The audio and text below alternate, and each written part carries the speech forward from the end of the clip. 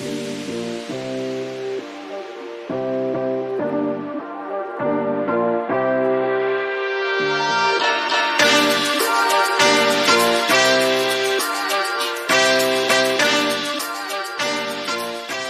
मैं हूँ Yasir Javed and welcome to another vlog of Marco Quest दोस्तों, आज जो है ना, हम करने जा रहे हैं सेरेमिक कोटिंग बाइक की पहली दफ़ा।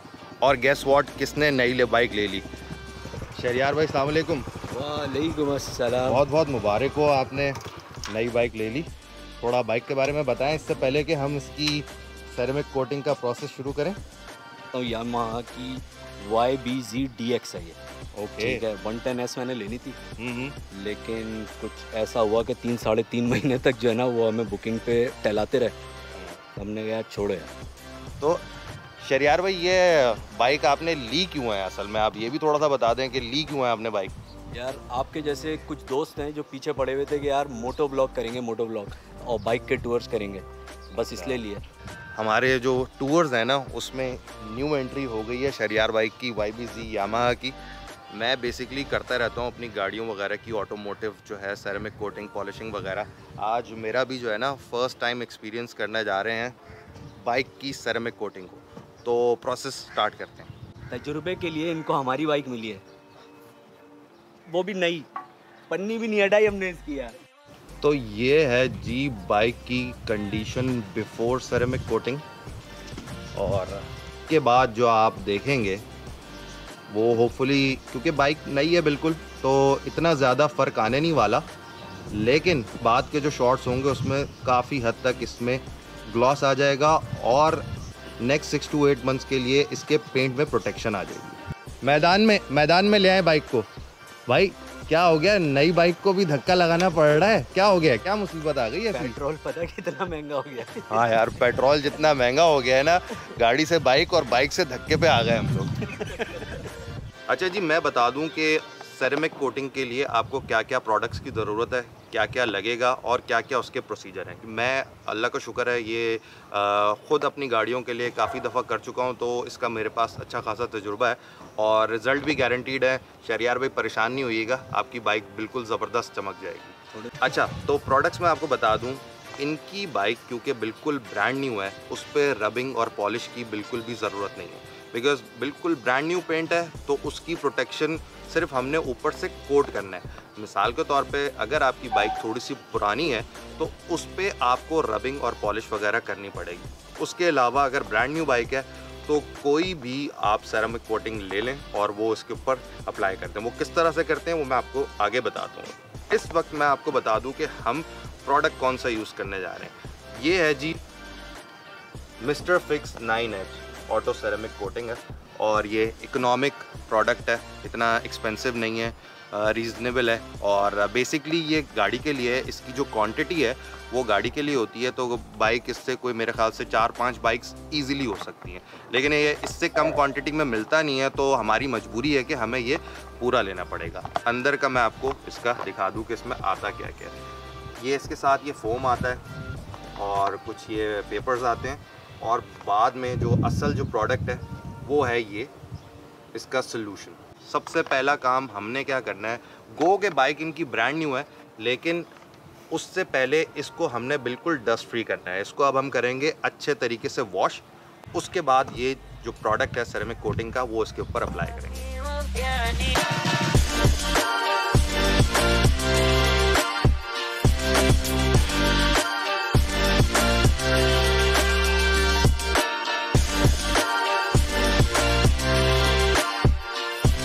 बाइक का जो कलर वाला पार्ट है ना, जैसे ये टैंक है और ये इसके साइड कवर्स हैं, ये वाला पार्ट है और मड गार्ड है।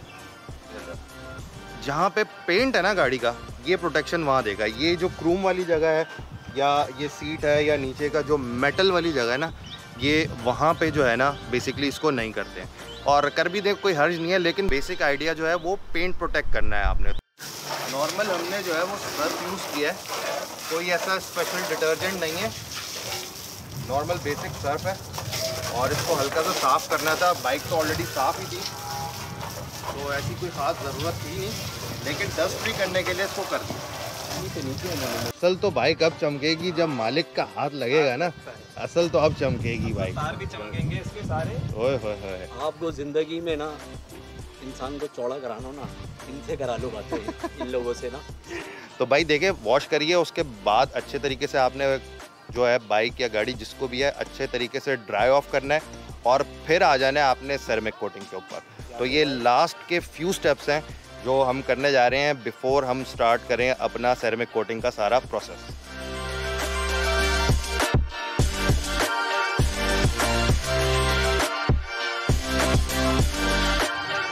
ओए होए होए होए होए क्या निकाली है यार? क्या निकाली है शहरियार भाई? ज़बरदस्त कर दिया मैं तो कह रहा हूँ। कोटिंग की ज़रूरत तो नहीं है। नहीं है। चले। अच्छा भाई अल्लाह चलें जी शुरू कर रहे हैं हम अपना फाइनल प्रोसेस सेरेमिक कोटिंग का। तो ये डब्बा खोला। ओह और वो गया। इसको हमने पकड़ना है एहतियात से। एक टिश्यू हमारा गिर चुका है।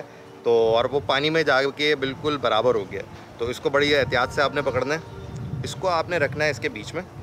और ये जो ब्लू वाली साइड है ये नीचे, और इसके ऊपर आपने इसको प्रॉपर तरीके से बाँध देना है, ठीक है? और दूसरी तरफ़ आपका जो मेन सोल्यूशन है सोल्यूशन ये रहा सोल्यूशन के जो है ना, आपने five drops at a time जो है ना, आपने डाल के आपने या तो ऊपर और नीचे वाली मूवमेंट से पूरे पीस के ऊपर करने हैं। और जब आपको लगे कि आपके जो पीस है वो मुकम्मल हो गया है तो आप दूसरे हिस्से के ऊपर कर लें। मतलब जब ये जब मैं आपको करके दिखाऊँगा तो शायद आपको आसानी हो जाए समझने में। तो जी, शुरू करते हैं।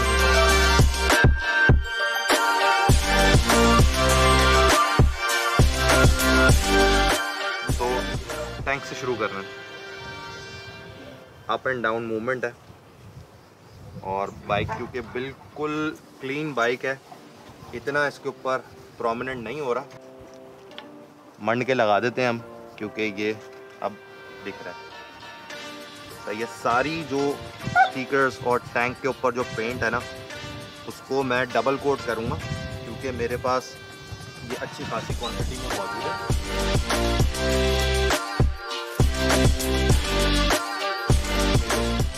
बाय द वे मैंने अपनी गाड़ी की भी सेरेमिक कोटिंग इसी प्रोडक्ट से की हुई है। इधर या इधर मैं आपको उसका लिंक लगा देता हूँ। गाड़ी पे किस तरह से करनी है वो भी देख लीजिएगा। खुद ही घर पे कर सकते हैं।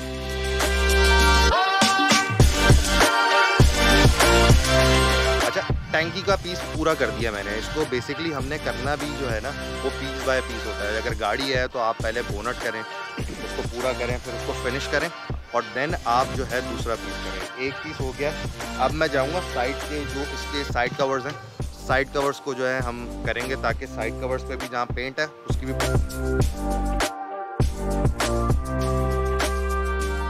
टैंकी हो गई है और अब हम मडगार्ड करने लगे हैं। तो मडगार्ड पे तो बहुत ही कम लगने वाला है। टैंकी से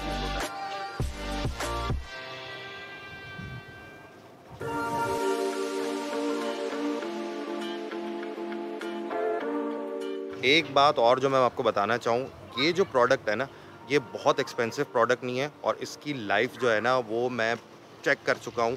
प्रूवन है इसकी life six to seven months है। इससे ज़्यादा इस प्रोडक्ट से आप एक्सपेक्ट नहीं करिएगा बिकॉज़ ये इतना एक्सपेंसिव प्रोडक्ट है भी नहीं। uh, मेरे ख्याल से 2000 से ढाई की जो है कॉस्ट है इसकी। और अगर आपको लाइफ चाहिए लॉन्ग लास्टिंग चाहिए तो फिर आप दूसरा प्रोडक्ट लें जो कि छः से सात हज़ार के बीच में होता है तो वो डेढ़ दो साल ईजीली निकाल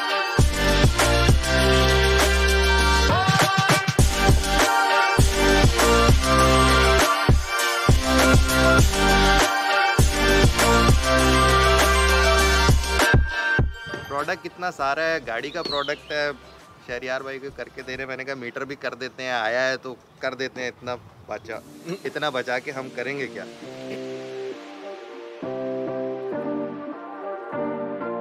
भाई सेरेमिक कोटिंग जो अप्लाई करनी थी ना, वो हमारा प्रोसेस हो चुका है मुकम्मल। अब बेसिकली इसको हमने फिनिश करना है, इसको जो है ना, हमने रब ऑफ़ करना है, जो एक्स्ट्रा उसके ऊपर लगा हुआ है, ताकि अब जो है ना बाइक जो है ना, वो फिनिश होके निकले। तो देखो आगे। अब हम इसको बेसिकली रब ऑफ़ करने जा रहे हैं। तो रब ऑफ़ करने के लिए रब ऑफ़ करने के लिए मेक श्योर sure ये करिएगा कि आपके पास अच्छा माइक्रोफाइबर क्लॉथ हो ताकि आपकी जो फिनिशिंग है ना वो ओके वाली आ जाए।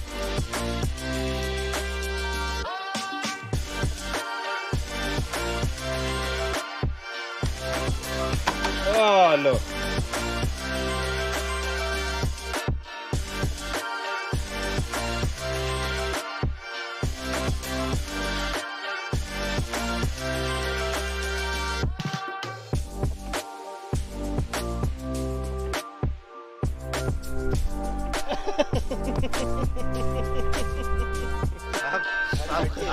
देना नहीं भूलना साहब मोटे हमने तो अपना फाइनल हाथ लगा के बाइक तैयार कर दी है। अब मालिक का काम है कि मालिक भी रगड़ाई करे और पैसे हलाल करे अपने और बाइक जब चमके तो क्रेडिट हमें भी मिले और उनको भी मिले। ये देखें आप।